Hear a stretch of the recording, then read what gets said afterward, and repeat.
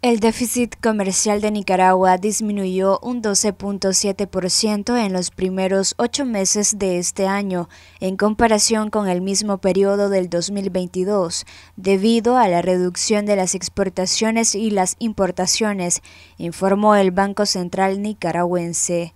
El déficit comercial global acumulado al mes de agosto resultó de 1.178.2 millones de dólares, menor en 12.7% con respecto al registrado en igual periodo del 2022, detalló el banco emisor del Estado en un informe sobre comercio exterior de mercancías.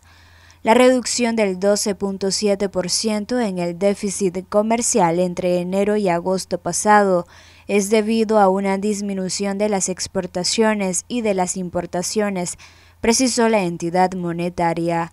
Las exportaciones totales de mercancías y de bienes de zona franca a agosto sumaron 5.304.9 millones de dólares, para una reducción del 2.3% con respecto al mismo periodo del 2022, según el Banco Central.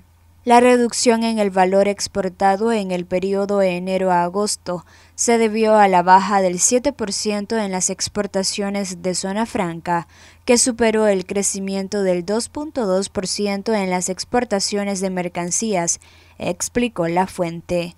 En tanto, las importaciones de mercancías y de bienes de zona franca agosto totalizaron 6.483.1 millones de dólares, un 4.4% menos que las registradas a agosto del 2022, indicó el banco. Esta disminución fue consecuencia de la reducción de las importaciones de petróleo y derivados, que superó los incrementos registrados en bienes de capital y bienes de consumo de acuerdo con el informe.